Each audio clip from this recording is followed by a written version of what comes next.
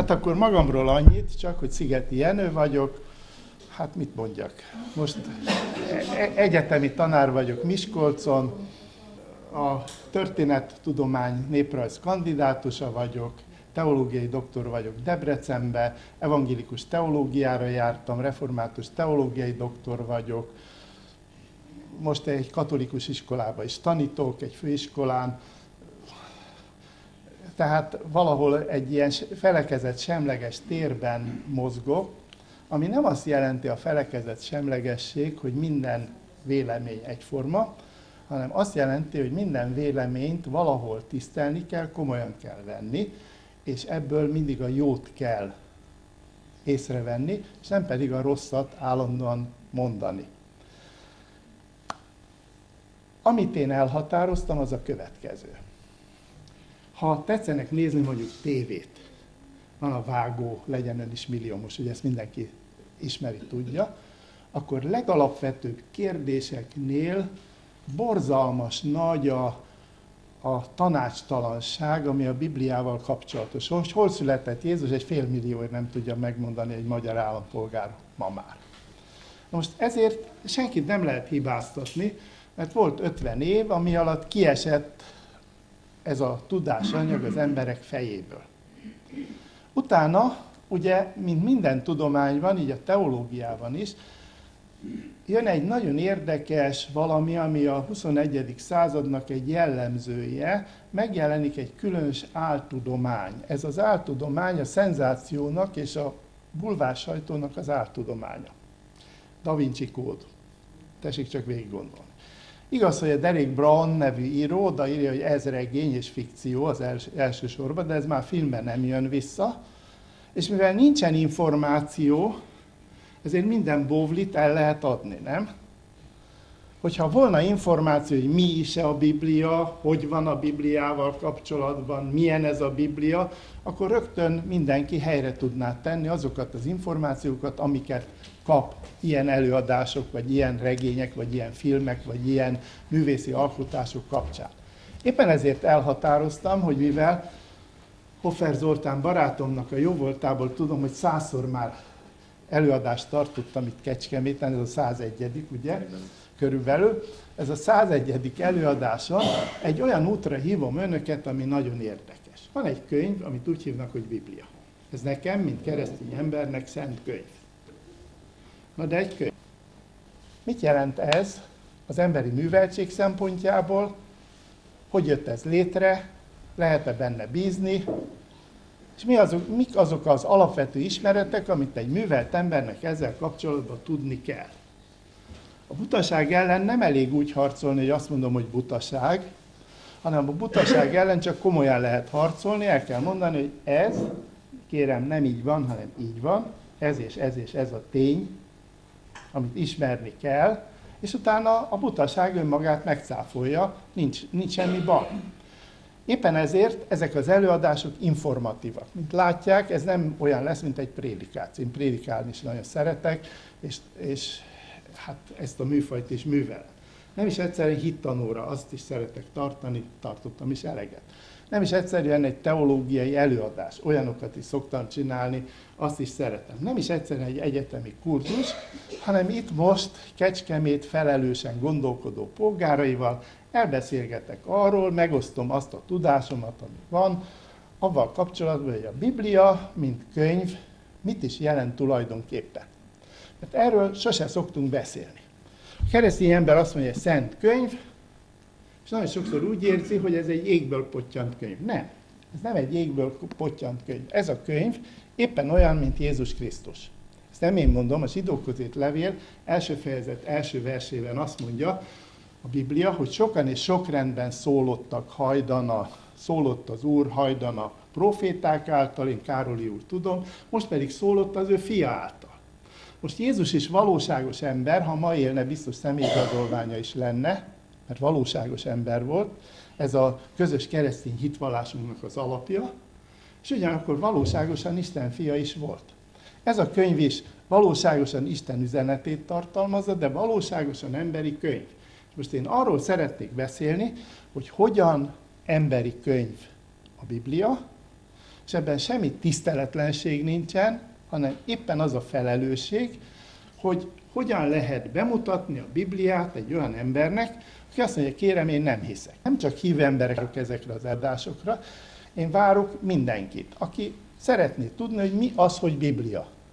És én nem egyszerűen itt most hitet terjesztek, hanem azt akarom elmondani, hogy ha egy társadalomban valaki azt mondja, hogy hívő vagyok, ez a hit mind alapszik. Mert, még egyszer mondom, egyetérteni az egy csodálatos dolog, de ritka adománya jó Istennek.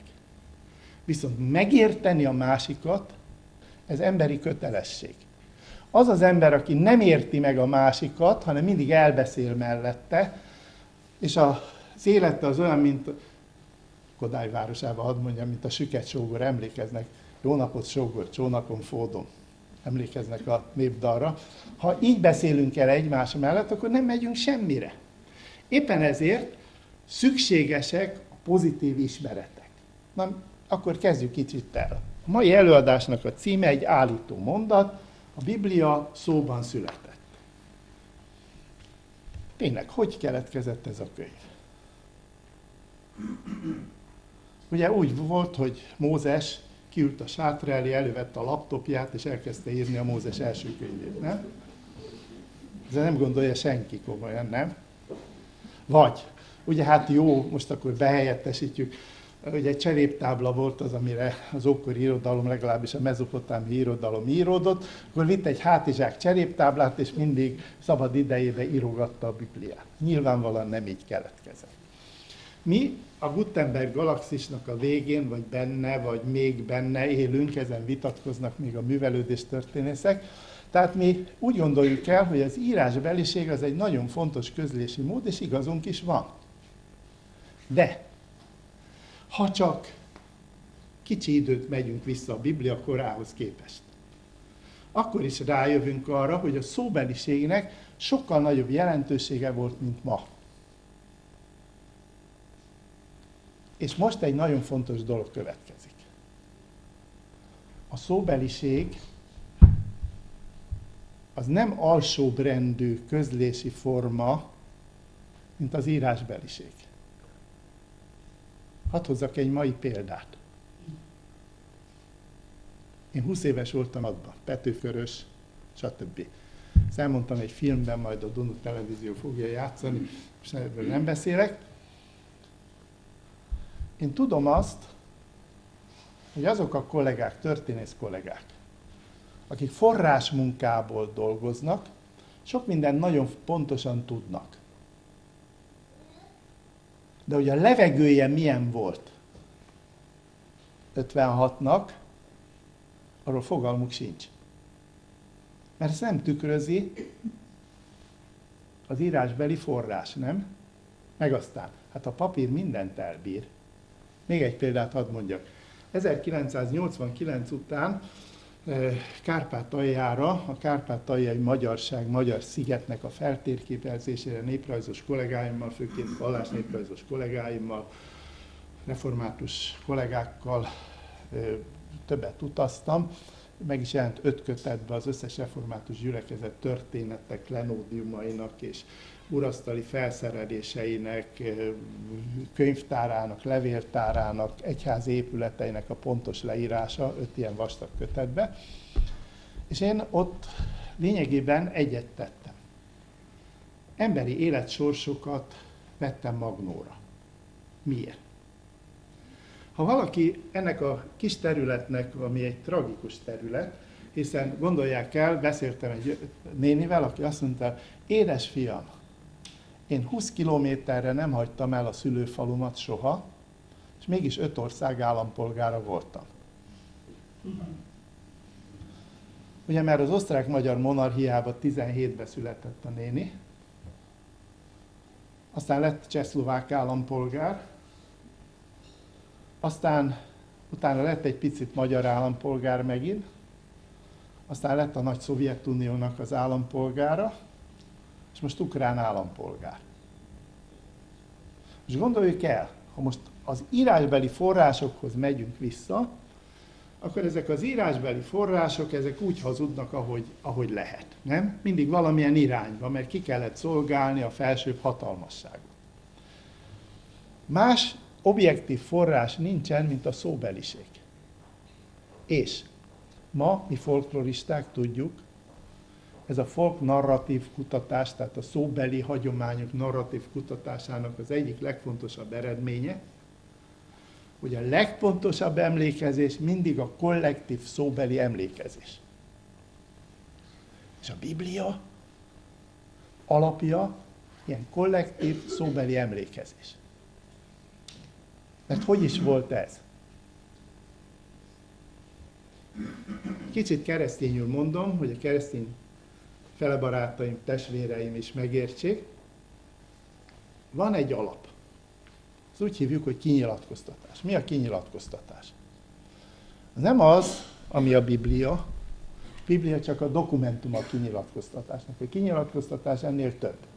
Úgy lehet meghatározni, hogy Isten, akiről a kinyilatkoztatás nélkül nem tudnánk semmit, mert ő végtelen, mi végesek vagyunk, és egyszerűen nincsen olyan távcső, amivel fel lehet fedezni a végtelent a végesből, az ismeretelméleti lehetetlenség.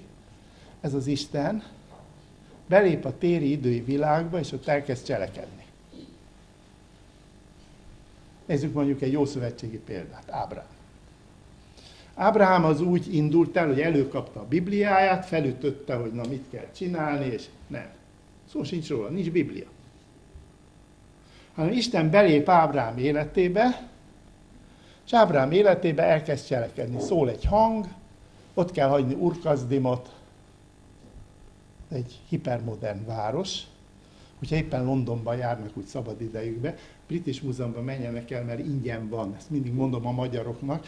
Ez az angolok lelkismeret furdalása miatt ingyen van, tudni, abban a világról összelopott kincsek vannak, de ezt nem mondják meg az angoloknak. És ezért elhatároztatott, hogy örök időkre ingyen lehet bevenni a British Múzeumban. És hát nézzék meg, a, bemennek a nagycsarnokba, bal oldalt felmennek az első emeletre, és az utolsó szobába egy Wally nevezetű, nagyon híres angol régésznek, urvárosának a régészeti leletei vannak. Valami fantasztikus. Gondolni kell 2000 évvel Krisztus előtt. Borzalmas régen. Fürdőszobás házak.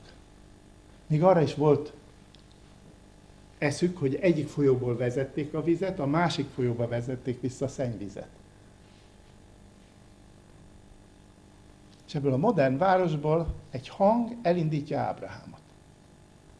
És Ábrahám ez leírja? Nem. Hanem Ábrahámnak ebből az élményéből lesz egy hír, amit elkezd elmondani Ábrahám. És ez az elmondott hír megy tovább, tovább, tovább, tovább, tovább a szóbeliség csatornáin. És erre azt mondhatja egy 21. századi ember, de hát akkor biztos el is torzul. Nem, történik vele valami, ezt tudjuk a folk narratív kutatásokból, és ami történik vele, az nagyon érdekes, és a Biblián is kimutatható. Ami történik vele az, hogy kikristályosodik. Minden lényegtelen lekopik róla. Képletszerűen tömör lesz. Tessék megnézni a Bibliának az igét, hogy miért olyan hallatlanul tömörek. Két sorról egy egész prédikációt lehet tartani. Vagy két sor bevilágít egy egész emberi életbe. Miért? Nagyon egyszerű. Azért, mert a szóbeliségnek az a tulajdonsága, hogy a lényegre koncentrál. Ez minden szóbeliségnél így van. Tessék csak gondolni, népköltészet. Ugye mondjuk a könyves kelemennét ugye mindjárt tetszenek ismerni. Ha visszatetszenek rá gondolni, ez egy hallatlanul tömör és gyönyörű szép költemény, nem? Most mit jelent az, hogy ez népköltés? Ugye azt tanultuk az iskolában, népajkán születik. Hát ez egy elég gyenge meghatározás, tudjuk, a népajkán nem születik semmi. Ez megszületett valakinek a fejébe, és addig mondták tovább, és addig alakult, addig tömörödött, kristályosodott, amíg eljutott ahhoz a formához, amit lejegyezték. Pontosan ez van a Bibliával is. Pontosan ez van a Bibliával is. Persze nem szabad úgy tekinteni a Bibliát, mint egy teljes, egységes, egyforma úton létrejött irodalmi alkotást. Ahogy az ókori irodalmi alkotások közül egyik se ilyen, mert Bibliában vannak például listák, amiket kezdetben is foglaltak. Mondok ilyen példákat. Egy nemzetségi táblázat. Bár ezeket a nemzetségi táblázatokat mindenki a magáit megtanulta, ez volt az ókori embereknek a személyigazolványa. Most mondok egy nagyon érdekes példát. Két evangéliumban is megvan Jézus nemzetségi táblázata, egyik a József oldaláról, a másik Mária oldaláról. Máté evangélium, hogy a zsidóknak írt evangélium, Máté evangéliumának az élén ott van egy nemzetségi táblázat. Na most, hogy könnyű legyen megtanulni kis Jézusnak ezt, az, ezt a nemzetségi táblázatot, ezért egy kicsit zanzásították ezt a nemzetségi táblázatot, össze tudjuk vetni az ószövetségi párhuzamokkal, háromszor 14 nemzetségre. Dávidig az első 14, Dávidtól a fogságig a másik 14, és a fogságtól Jézusig a harmadik 14 nemzetségre. Tehát kétszer hét, háromszor kétszer hét, ugye? Ez könnyű volt megjegyezni, nem? Mert van egy számbeli segítség. És amikor tanultak kis Jézus, mert ezt meg kellett tanulni, mert hogyha megkérdezték, hogy édes gyerekem, ki fia borja vagy, ahogy ezt ma népiesen szokták kérdezni, akkor elsorolta a nemzetségi táblázatát az illető, és tudta, hogy hova tartozik de ezek írásban lejegyzett, nagyon hamar lejegyzett valamik voltak. Vagy talán még jobb példa erre, József könyvét, hogyha fellapozzák, határleírások vannak. Nagyon pontosan a helységek megvannak, mert ebből mindig baj lehetett. Ugye az első írásbeli emlékek mindig a határleírások, mert ugye tudjuk a Fülemüle pernek a tanulságát, ha per úgymond hagy legyen per, ezért a törzsi határokat, városhatárokat nagyon pontosan leírták, és ezek írásban megvoltak. A Biblia egy olyan hatalmas nagy gyűjtemény, amiben egyrészt a szóban őrzött hagyomány, az írásbeli hagyomány együtt van. És még sok minden más. És most erről szeretnék beszélni. Tehát azt mondtam, hogy van a kinyilatkoztatás, ami azt jelenti, hogy Isten belép a téri idői világba, és ott elkezd cselekedni. Így van ez az új szövetségben, és nem csak Ábrám életében. Az új szövetségben mindenki tudott írni, olvasni, minden felnőtt ember Palesztinában tudott írni, olvasni, nem tekintették teljes értékű embernek, aki analfabéta volt. Középkorban több volt az analfabéta, mint akkor. De Jézus nem adott arra parancsot, hogy evangéliumot írjanak az apostolok, hanem arra adott parancsot, hogy prédikáljanak, nem? És ha megnézzük Jézus tanítását, akkor ezek ilyen nagyszerűen kikristályosodott mondatokban, úgy mondjuk ezt irodalmi műszóval logionokban, vagy más állókban, a héberül mondom, maradt rá. Jobb adni, mint kapni. Boldogok a lelki szegények, mert ők örökségül bírják a földet. Könnyebb a tevének a tűfokán átmenni, mint gazdag embernek az Isten országába jutni. És így tovább. Lehetne mondani. Ugye ezt első hallásra meg tudjuk érteni. Na most, ha az új szövetséget nézzük, akkor az új szövetségben is ugyanez a folyamat lejátszódik, és eljön egy olyan pont, most az új szövetség példáján mondom, de az Ószövetségben is. Az Ószövetségben ez a pont körülbelül akkor jön el, amikor a törzsi szövetségek felbomlanak és egy egységes királyság jön létre, akkor az egységesítés érdekében ezeket a szóbeli hagyományokat le kell jegyezni. És én, mint hívő ember azt mondom, Isten szent lelkének az ihletésére az addig kikristályosodott szóbeli hagyományokat leírták. Ezek vannak a mi kezünkbe, ez a Biblia.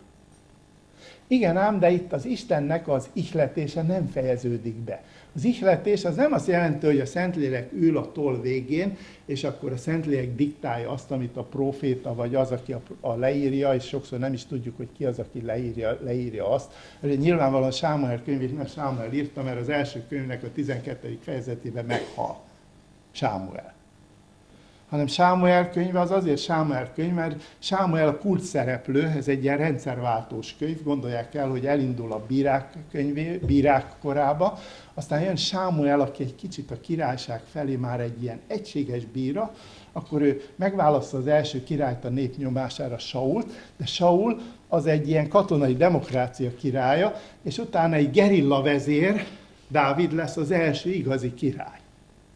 És ez mind Sámuel könyvében van, tehát ez egy nagyon izgalmas rendszerváltós könyv, hogy hogy kell viszonyulni az elődnek az utódhoz, új, új, rengeteg tanulság van benne.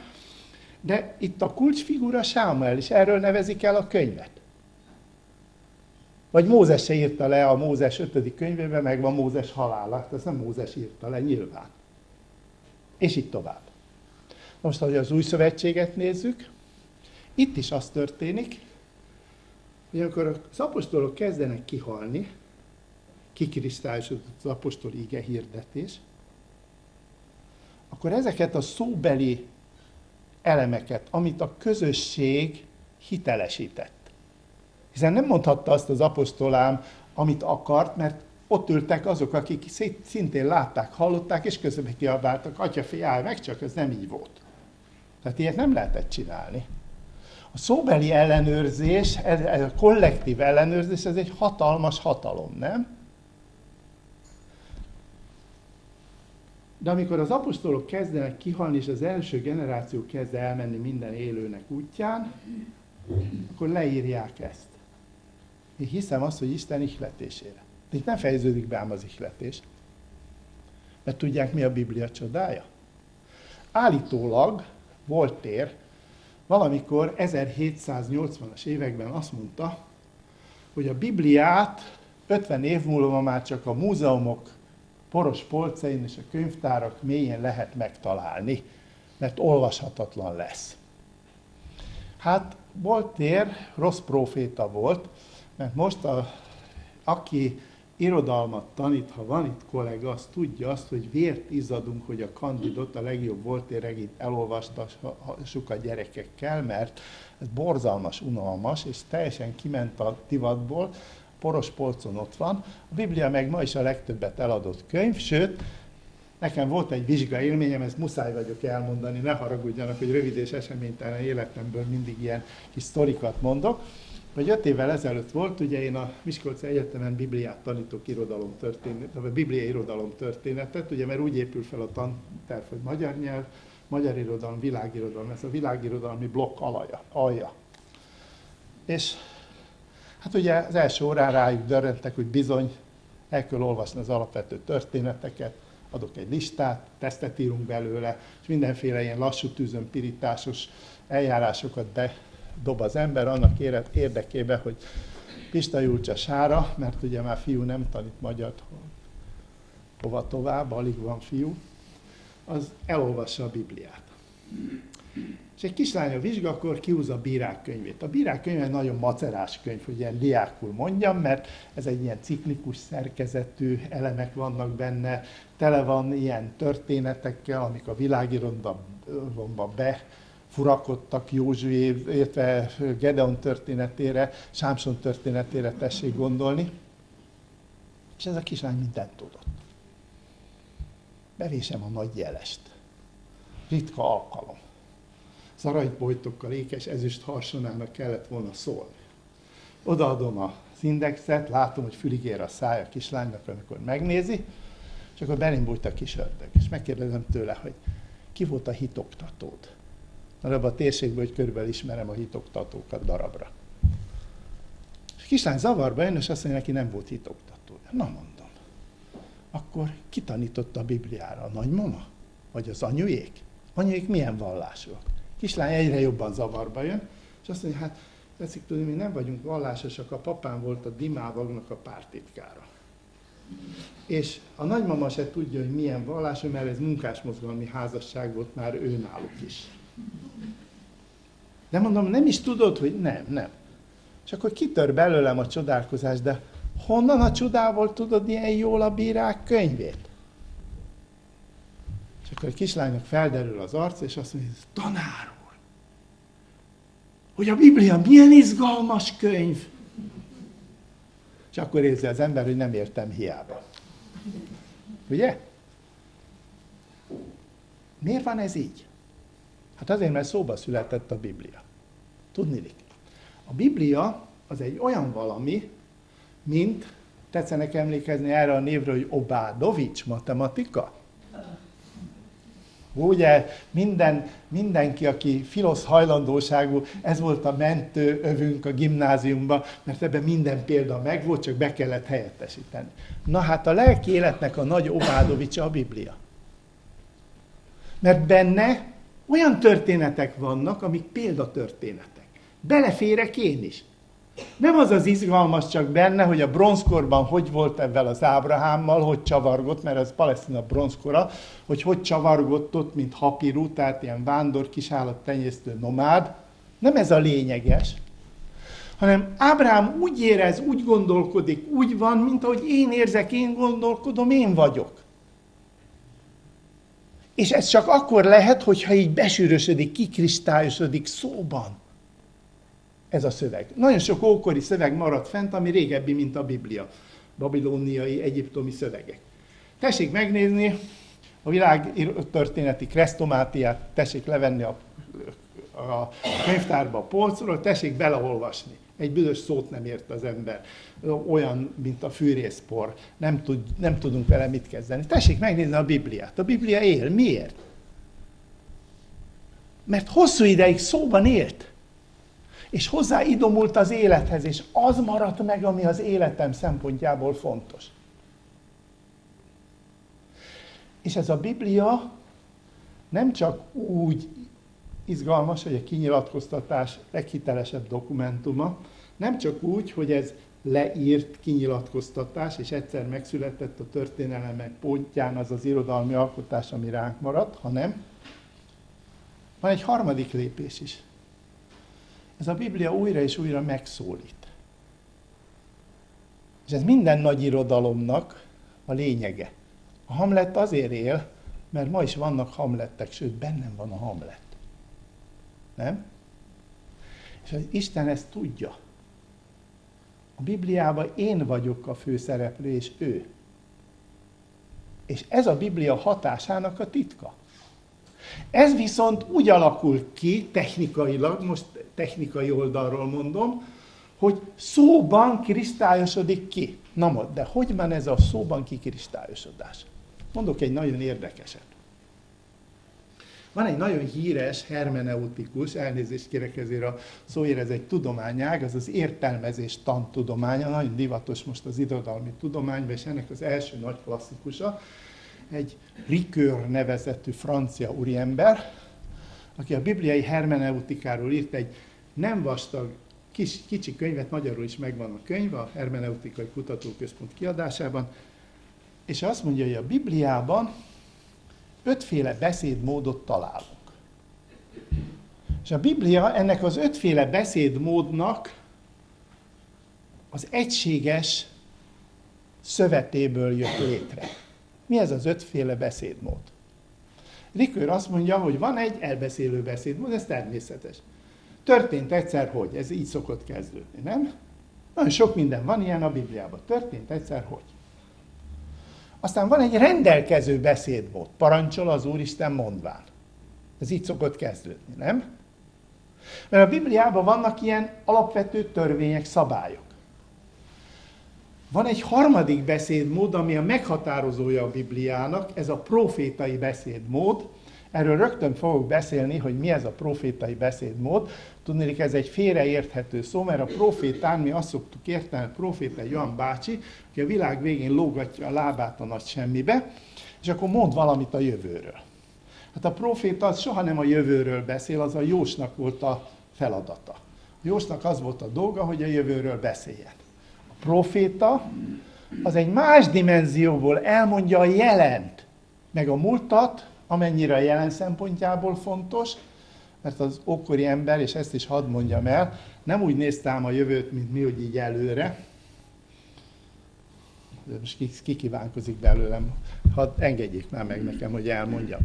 Az internacionáli legbutább sorát nem tudjuk elfelejteni. Tudják, hogy szól a legbutább sor az internacionálinak? Hogy a múltat végképp eltörölni. Ennél nagyobb balgaság nincsen. Tudnék, a múlton tetszik ülni. Hát a múltban nem nagy méltóztatott volna az az iparos megcsinálni a széket, akkor most nem ülnénk. Vagy a múltban nem épült volna fel ez a ház, akkor ez nem lenne. Hát a múltat nem lehet eltörölni. A múltat igenis lehet kritikailag értelmezni. Megmondani, hogy mi a jó benne, mert minden múltban van jó is. Olyan nincsen, hogy csak rossz, csak a mesébe van. És van rossz is. Tehát az ókori ember az mindig a múlt van előtte. Nagyon érdekes, a Héber nyelv is azt mondja, hogy előttem a múltam van. Mögöttem van a jövőm. Miért? Hát a múlt tanulságai alapján a jelenben döntöm el azt, hogy hogyan kell cselekedni, és hogy nyerhetem meg a jövőt. A jelen a váltó, nem? Hát jöttem ugye Budapestről, Ceglét. Cegléden van egy váltó, pár milliméter. De ha arra áll, akkor én Debrecenbe mentem volna, és nem Kecskemétre, nem? Azon a pár milliméteren múlott. Nem? És ez a jelen, ez a jelen felelőssége. Most az ókori ember ezt tudta. Most térjünk csak vissza ehhez a gondolathoz.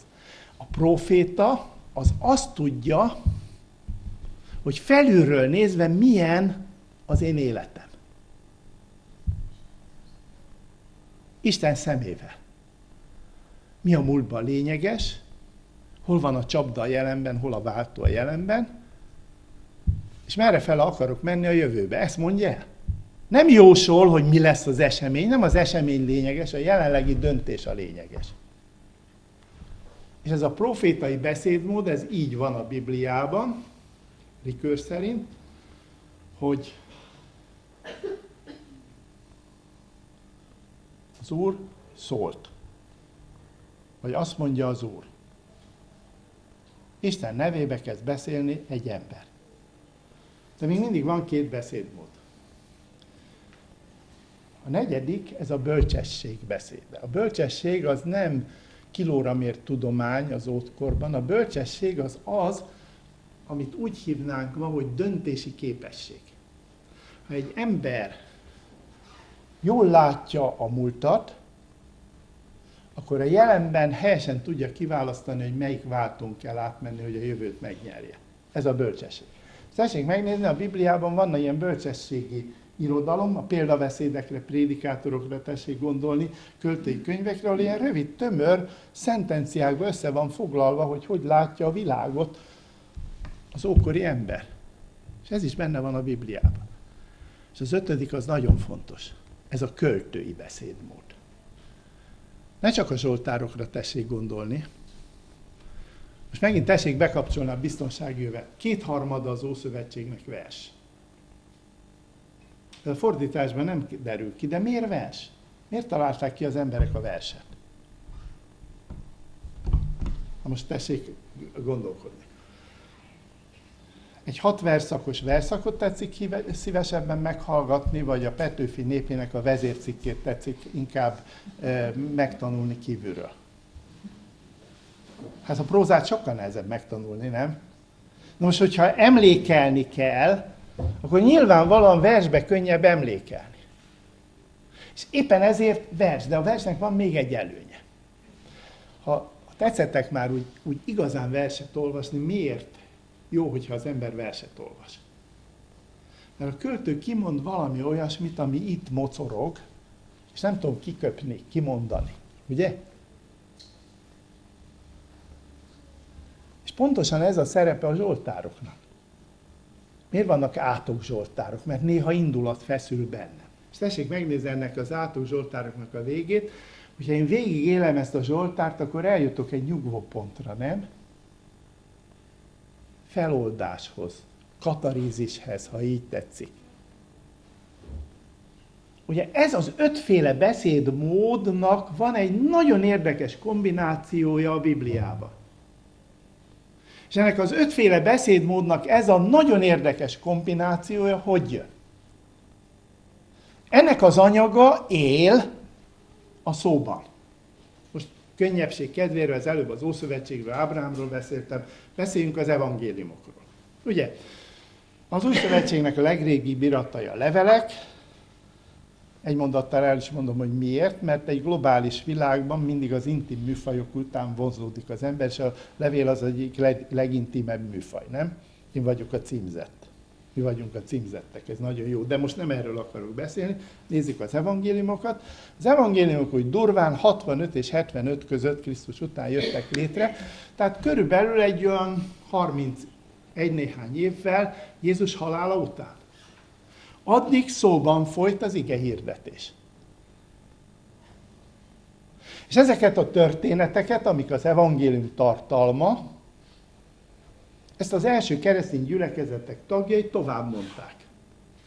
Volt egy kollektív szóbeli hagyomány, ami azért fontos, mert az kollektív szóbeli hagyomány a legjobban ellenőrizhető hagyomány. Szóval nem lehet hazudni, csak papíron. Másik az, hogy szóban sokkal jobban meg lehet jegyezni valamit, mint papíron. Csak ezt mi nem szoktuk elhinni. Mondok erre is egy példát. Erdély Zsuzsáról bizonyára nagy folkloristánkról tetszettek hallgatni. Zsuzsa nénémnek, aki kedves anyai jó barátnőm, mindig így szoktam mondani, Jóskának hív, nem tudom miért, de kezdetől fogja vagyok neki a Jóska. Mert van egy Jenő barátja, ez ki nem állhatja, és engem szeret, azt mondja, azért én Jóska legyek. Én vagyok a Jóska neki, ugye van a Hegyet Hágék Lőtött Lépék című nagy népi imádság gyűjteménye. Ezt ugye Somogyba kezdte el gyűjteni, azóta már ilyen vastag a Hegyet Hágék Lőtött Lépék. Mindig mondom neki, hogy te Zsuzsa, eh, fejedre fog esni egyszer az új kiadása a Hegyet Hágék Lőtött Lépék, az üt agyon be bá. Szóval, amikor az első imákat Somogyba felgyűjtötte, úgy, hogy a szállásadó néni azt mondta, a papoknak el nem mondja, mert ez tilos ima. Valóban a tridenti zsinat betiltotta. Onnan tudják, hogy tilos ima ezeket. De ezek 14. századi Ferences imádságok. És amikor ezt leírva megmutatta a Pajs Dezső professzor úrnak, aki az egyik legnagyobb nyelvészünk volt, akkor a Pajs Dezső bácsi azt mondta, akit szintén ismertem, hogy Zsuzsa, ma nincs április első lóvá akarsz tenni? Ez 14. századi helyesírással van írva, így ma nem beszélnek az emberek. Azt mondja, professzor úr, hát így mondta a Mariné, nem hiszem. Feltette a szallagot, lejátszotta a pajzsdesőnek. Pajzsdeső így szájtátva bámolt. Szóval, hogy a fenében van ez? A kéziratok eltűnnek. De az emberi agy szürke állománya a legjobb papír. Különben ez a legkeményebb anyag, minden pedagógus tudja, nem? Hogy az ember egy szürke állomány a legkeményebb anyag. Tessék a nebulókat megfaragni ott a szürke állománynál. Szóval, ez megjegyzi. És ugye 30 év, 32-33 év eltelik, és akkor hogy születnek az evangéliumok? Erről majd külön fogok beszélni, most csak jelzem, úgy, hogy ezeket az anyagokat egy bizonyos cél érdekében egy szerkezetre, egy polcra rárakják az evangélisták. Négy evangélista négyféle szempontból, négyféle szerkesztési eljárással. Azt is elmondom, hogy az első evangélium, Máté evangélium az kiasztikus szerkezetben, tehát ez egy ilyen, hogy mondjam én, ilyen piramis szerkezetben, hogy A, B, C, D, E, akkor D-vesző, C-vesző, B-vesző, A-vesző, és akkor így párhuzamosan ezek, ezek vaddalának, majd meg fogjuk nézni ezt egy, a, éppen a Máté evangéliumán, mert ez egy különleges szerkezet, hogy hogy van, így születik. Márk evangélium, az lineárisan szerkeszt, mert a rómaiak így gondolkodtak. Ebből következik ez, oki-okozati lépésekben megyünk előre. Lukács nem a zsidóknak, nem a rómaiaknak ír, hanem a hellenista városoknak. Hellenista városokban pedig a dublettás, párhuzamos szerkesztés volt a divatos. Tessék megnézni, úgy is kezdődik, mond egy szép nagy körmondatot, utána keresztelő János születésének a bejelentése. Jézus születésének a bejelentése. Keresztelő János édesanyja és Mária találkozás összeköti a két szál. Keresztelő János megszületik. Jézus megszületik. Keresztelő János felnő, Jézus felnő, találkoznak a kerességnél, nem? És így tovább. Vagy ha nézzük mondjuk a tékozó fiú példázatát, mindjárt tetszenek tudni, ott is ugye három példázat van. Van az elveszett júról szóló példázat, ez egy férfi elveszt valamit, és megtalálja és örül. Elgurult drachmáról a példázat, egy nő elvesz valamit, megtalál és örül. Szó szerinti egyezések vannak a két példázat között, és a kettőt összefoglalja. A tékozló fiú példázat, ami kettős példázat. Mert van egy nagy csavar benne, hogy az idősebb fiún csattan az ostor, mert nem tud együtt örülni a többivel. Nem? És ez így megy előre végig.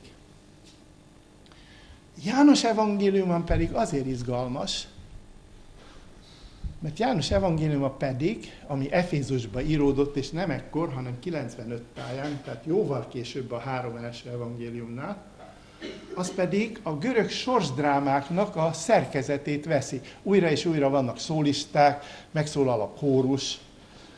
Nagyon könnyen lehet, például a János Passiót ugye azért szerette Bach, mert nagyon könnyen meg lehet azt úgy írni, hogy kórus, ilyen szólista, olyan szólista, ilyen párbeszéd, olyan párbeszéd, tehát dramatikusan van megszerkesztve. Mindent összevetve,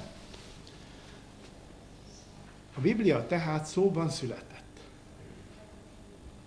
Ezt nem azért mondjuk, mert nem olyan hiteles, hanem éppen ezért hiteles. És ez a szóban születettséget azért kell tudni, mert ez a Biblia hatásának az alapja ma is. Azért a hatásának az alapja, mert a népköltészet az él, és a népköltészet is szóba született. Miért? Azért, mert a népköltészet az újra és újra alakul. A Biblia újra és újra hozzám alakul, befolyásol engem. Újra és újra ez a régi szöveg megszólít. Gondoljuk végig, Ábrahám borzalmas régen él. Gondoljuk, hogy 1700 évvel Krisztus előtt. Ez borzalmas régen van. Bronzkor van. A, a bronzkornak az utolsó szakasz ez Palesztinában. Sőt, inkább a középső, mert a bronzkor utolsó szakasz az egész Dávidig elnyúlik. Palesztinában hosszabb a bronzkor, mint máshol. Majd erről is egyszer beszélek, hogy miért. Szóval, és akkor gondoljuk el ilyen finomságok benne jön három férfi, hogy fogadják? És akkor hallgatózik Sára. Gondoljuk el, egy bronzkori hölgy hogy hallgatózik, ez benne van a Bibliában. Mert a Biblia az a világirodalom legnagyobb realista alkotása. És ezt nem én mondom, Lukács Györgyről ugye tetszettek hallani, a legnagyobb magyar marxista filozófus volt. Lukács György halála előtt néhány hónappal a Vigilia című római katolikus folyóirat körkérdésére, mit jelent az ön számára a Biblia, következőt mondta. Ha egy lakatlan szigetre kerülnék, és csak egy könyvet vinnék, akkor ez a Biblia lenne. Nem azért, mert én hívő vagyok, azt mondja, én nem vagyok hívő, de a Biblia az a világirodalomnak a legnagyszerűbb realista alkotása. Ebből lehet önmagamat, a környezetemet, a világot a legjobban megismerni. És ez a marxista Lukás György ezt mondja, és ez minden kényszer nélkül mondta, akkor ő nagy ember volt, nem kellett volna válaszolni, visszadobhatta volna a labdát. Ezt leírta, elmondta, akkor nekünk erre oda kell figyelni. Igenis mi keresztények, ne zárjuk be egy szentségtartóba a Bibliát, vagy ne tegyük csak fel a szekrény tetejére, hogy semmi baj ne érje, és ilyen jó poros legyen, szent, szent por üljön rá, hogy így mondjam. Próbáljuk ezt arra használni, amire való hogy a mai ember mai kérdéseinek a megoldása valahol ott van a múltba. Ott a megoldó képlet, a jó öreg Obádovics. Hát, hogyha a matematikai példával megszorulsz, vedd elő ezt a lelki Obádovicsot. Köszönöm szépen, hogy meghallgattak.